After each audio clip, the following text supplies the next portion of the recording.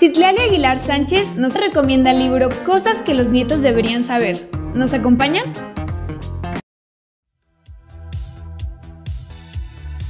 Cuando nosotros escuchamos música, generalmente eh, esa música llega a convertirse pues en el soundtrack de nuestros días, ¿no? En, un acompañante de nuestra vida que está allí como eh, digamos, un soundtrack interminable, ¿no? Hay discos que nos han marcado seguramente, hay voces que escuchamos eh, repetidamente.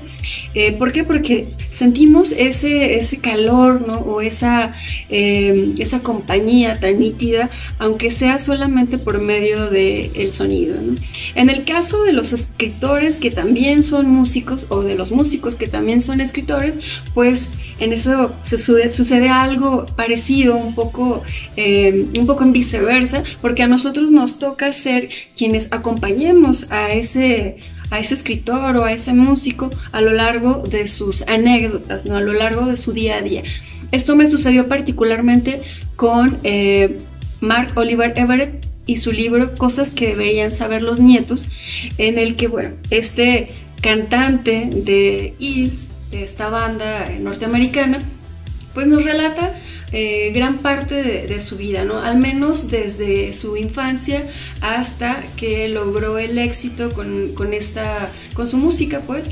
Y bueno, lo estamos, eh, digamos, acompañando paso a paso durante sus, sus aventuras, pero también durante las desgracias o las tragedias que le llegaron a suceder durante, pues, sus años, ¿no? Su, sobre todo su juventud. Eh, ¿Por qué es importante leer a los, a los cantantes o a los músicos?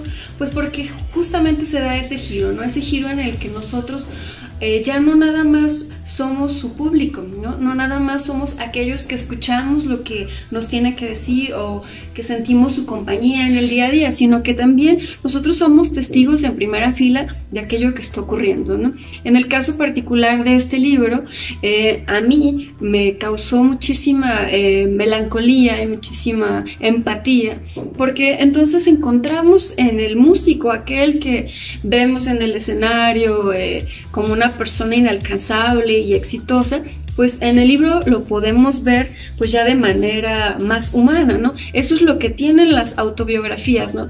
Eh, que nos muestran al ser humano, no al escritor, no al músico, no al, al artista, sino a la persona, al ser humano que pues, en ese sentido es idéntico a nosotros, ¿no? Con problemas como cualquiera y con situaciones en las que tampoco saben qué hacer, ¿no? Eh, para mí, Hills es una de las bandas que me ha acompañado a lo largo de, muchos años. Ha sido parte de la música de fondo que ha estado eh, pues ahí como también como testigo de ciertas vicisitudes, ¿no?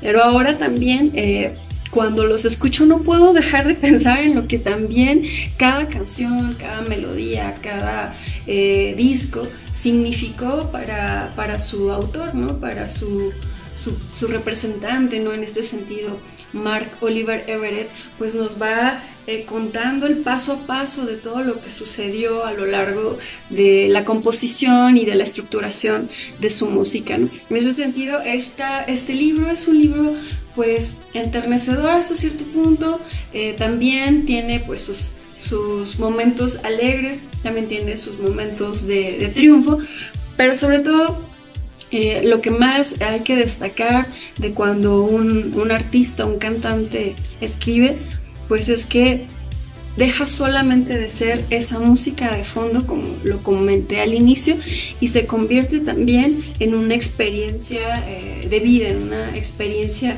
que nosotros podemos sentir casi en carne propia.